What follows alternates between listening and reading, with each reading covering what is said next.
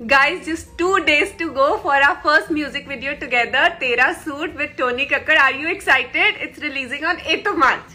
कान सुन हो गया मेरा ये अरे 8th March. Two more days. Eighth March two more days दो दिन बचे हैं उसके बाद एट्थ मार्च गाइस बस दो दिन बचे हैं उसके बाद एट्थ मार्च को हमारा गाना रिलीज़ हो रहा है आप सब लोग प्लीज़ यूट्यूब पे जाइए देसी म्यूज़िक फैक्ट्री को सब्सक्राइब कीजिए क्योंकि गाना वहीं लॉन्च हो रहा है ना और कहा जाओगे?